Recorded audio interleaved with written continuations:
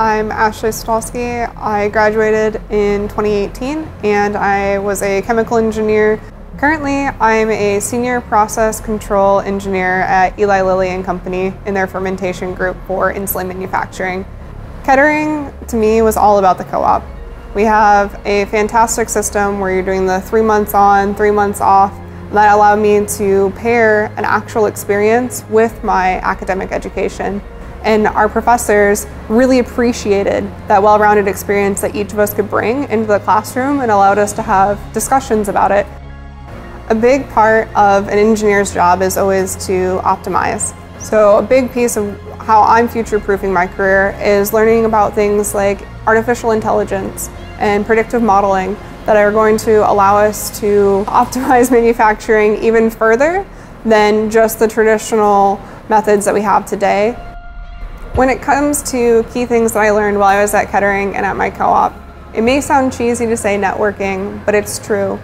The people that you work with in your coursework, the people you work with while you're at your co-op, Many of these people will come back into your life even after you've changed roles, companies, areas.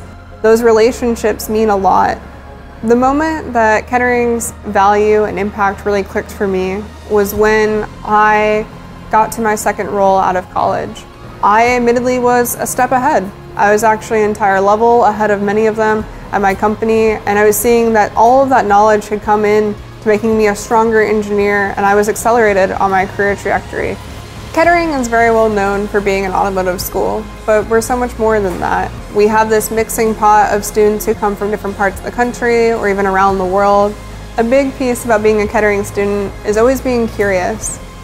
That means asking questions at work, that means asking questions in the classroom, wondering why we aren't doing something better or how you can continue to optimize as you go out into the workforce. Kettering really allows you the opportunity to set your path on your career by these trial co-op programs that you go through. Kettering is certainly not an easy school. It challenges you both academically and professionally, perhaps even mentally, as you change from one system to another continuously back and forth. But I promise it's worth it.